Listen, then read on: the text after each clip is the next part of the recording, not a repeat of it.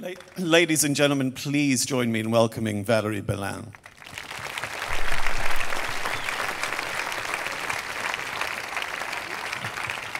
Uh, Valerie and I had a little negotiation before this uh, discussion today about what language we would conduct it in. And we decided, in the spirit of Brexit, I would ask my questions in English and she would reply in French. I'm sorry, it's a, it's a sad metaphor for our times. Uh, but just to begin with, Valerie, um, I'm really interested to hear from you what your reaction was initially when you heard that you'd been nominated for a prize on the theme of disorder. Um, je n'étais pas vraiment surprise. Well, I wasn't very really surprised, but actually rather worried. I think that uh, this disorder, I, have never spelt it out as such, but uh, from the very beginning it has been present in my work uh, through notions of profusion and mm, the denatured aspect of what I photograph. So when we look at a photograph such as the one on the screen now, which you took in Venice, I think in 1997, uh, we can see that current through your work even then.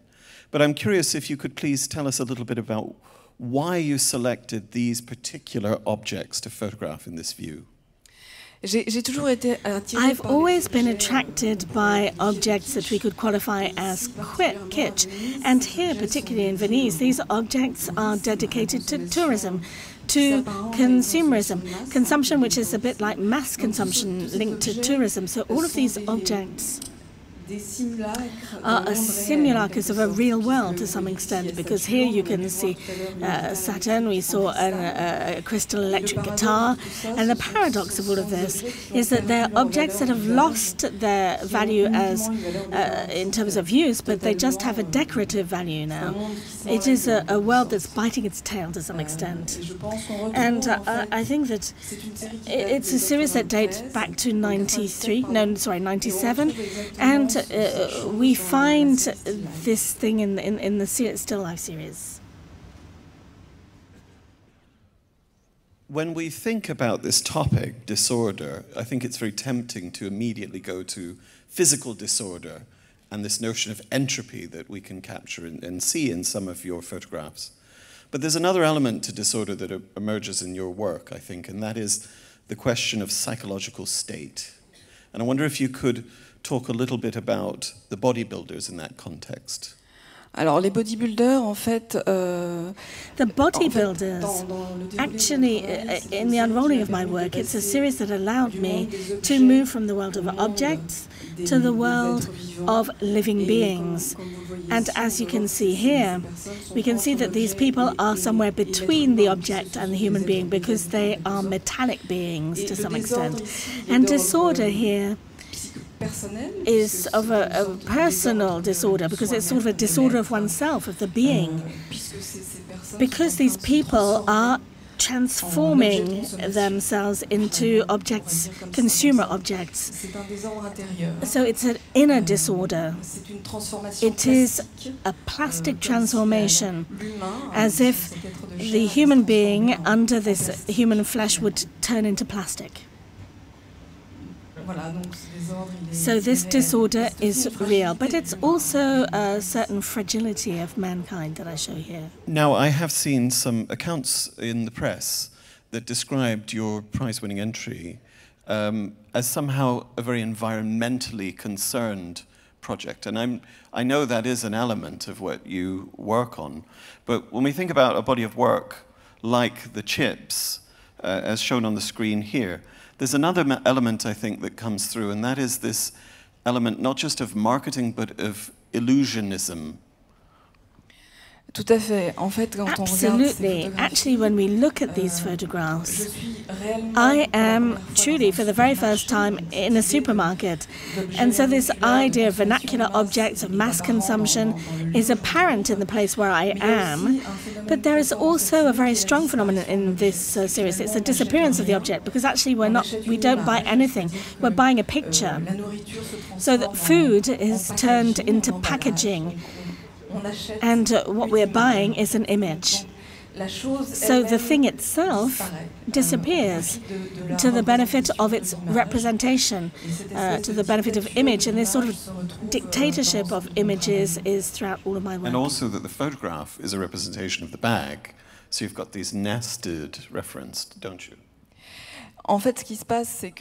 Yes, what happens is that when we look at the photo, we're not sure what we're looking at. It's no longer either a packet of chip, of crisps, or food, or a photograph. Because I took these photographs with a 2025 uh, uh, chamber, and we can see on the print itself, you can see uh, the uh, framework of the print itself on the aluminium packaging.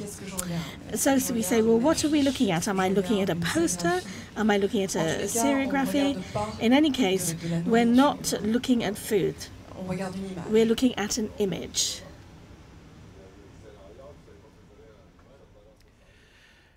This is something I think about from time to time with your work, Valerie, and I mean it in the, the highest complimentary way. But I wonder if you could talk a little bit about your role and identity as a woman in making this work. And is there something that's uh, particularly feminist about your perspective on the things you photograph? Euh, je n'ai pas une esthétique militante.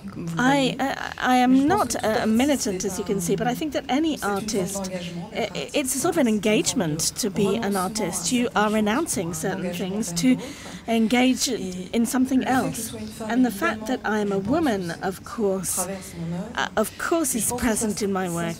But I think that this is mainly um, translated in the fact that I photograph, I often photograph stereotypes, and I try to deconstruct these stereotypes.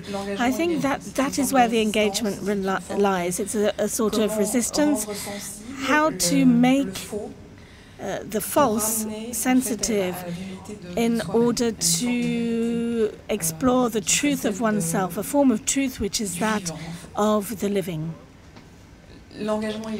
That's where uh, my engagement is. I think it's at once feminine and masculine, and when I photograph men or women, I photograph them uh, in a perfectly equivalent manner. And with the next slide, I want to just return you to this question of disorder again.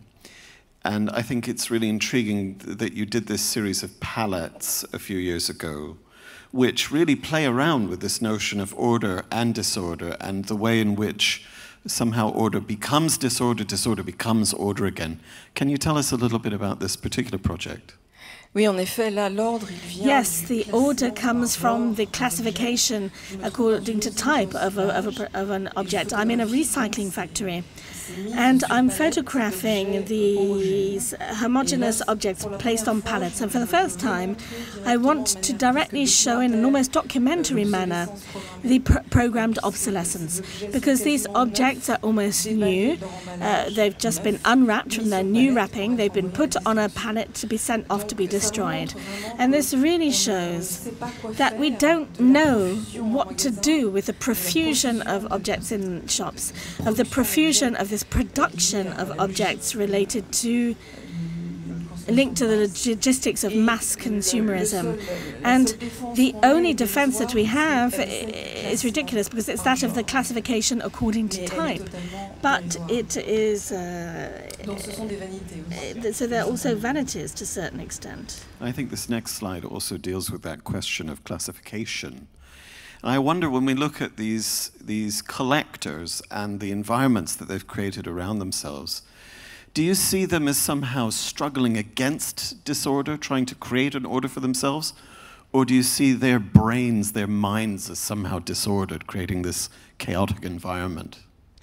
Mais ce qu'on voit ici, c'est que ces personnes qui when we see people who uh, who stack who, who stack up a mass of objects rather than collect objects and are invaded by the objects, it's the object that takes pa power, takes hold over the collector, and not the contrary. And uh, so uh, it's a sort of an imprisoning of the collectors by these euh, objects. And this, this is, I wanted to show it in a visual euh, manner uh, via the solarization of the pictures that modify the sources of uh, light in uh, black or grey, so there is no possible exteriority. It is a prison, and the use of the wide angle uh, uh, allows us to show at once the, the floor and all of the walls of this uh, room, and it makes this uh, uh, image far more expressive. Uh, like a sort of a, a prison, a cell. So when we arrive at the last slide, which is uh, taken from the body of work that was actually entered in the Prix, um, this is a, a, body that you've described as still life. You've given it the title Still Life. And I think that's a really intriguing title because it, to me, there is such a wonderful tradition of classical still life that has a, a, a real anchor in utility and purpose and meaning for the user. This is something a little different, though, isn't it? Oui, parce qu'en fait, je me suis. Euh, yes, because I really referred to the tradition of uh, painted still lives. Uh, through the elaboration of the composition, we can bring these images into relationship with the painted still lifes of the uh, 17th century. But the big difference with these still lifes is that here the objects do not mean something that is obvious, which is uh, that of nature, by showing uh, wildlife, real fruit, real flowers, the evidence of death also with the presence of a skull. But what we're showing here is that all of these objects are made of plastic. So once again, they have entirely lost uh, the their usage value, all of their truth, and therefore, uh, through an effect of bringing them together, there is a contrast with this reference to still life. And disorder takes hold, in particular through the profusion of objects which uh, are excessive in number. Uh, what we can say also is that disorder comes also from this sort of exuberance of representation. A, a, a, paroxysm of image because I used all possible means that we have today with digital tools. The colors are not the original colors of the photograph, so that is also a form of disorder. And so finally, these pictures show a new order of the world, which is an order that is in, entirely denatured. And the tool participates in this uh, denatured uh, aspect, which is just an artifice, a representation. I think that's a wonderful place to leave our brief discussion tonight uh, with a world that is at the same time incredibly frustrating, but also completely full of visual possibility. Um, I know Sam is just about to come back up, but uh, I do want to thank you all very much for coming tonight. And please join me again for thanking Valerie Belin.